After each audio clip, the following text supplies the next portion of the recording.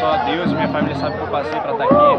Agradeço a todos aqueles que vieram, minha família está toda aí, essa torcida maravilhosa que nos acompanhado no campeonato todo, a diretoria, os jogadores, cara, é, é mérito de todo mundo, não é só de um jogador, de outro. Então, estou muito feliz de poder retribuir dentro de campo né, tudo aquilo que foi colocado dentro de mim. Estou muito feliz e agora é comemorar e agradecer a todos aqueles que estavam torcendo por mim, orando e só tenho a agradecer. A vitória é um sentimento horrível, né? Eu acho que nós pagamos um preço muito caro de ter feito um primeiro jogo da, da final muito ruim, muito abaixo do que a gente fez na competição. É, nós fizemos é, dos 12 jogos, se eu não me engano, 11 jogos muito bons, é, praticamente perfeito, até hoje mesmo, com a fatalidade a gente terminar esse jogo em 0 a 0 Prova que a nossa equipe lutou até o fim em busca da vitória, mesmo sabendo que tinha, tinha que tirar uma diferença de 3 a 0 mas faltando poucos minutos para acabar o jogo, a nossa equipe estava brigando pela vitória.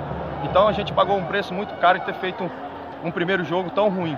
Paciência agora, agora é descansar, pensar em 2019 e torcer que em 2019 as equipes capixabas que vão representar aí no cenário nacional possam representar de uma forma digna.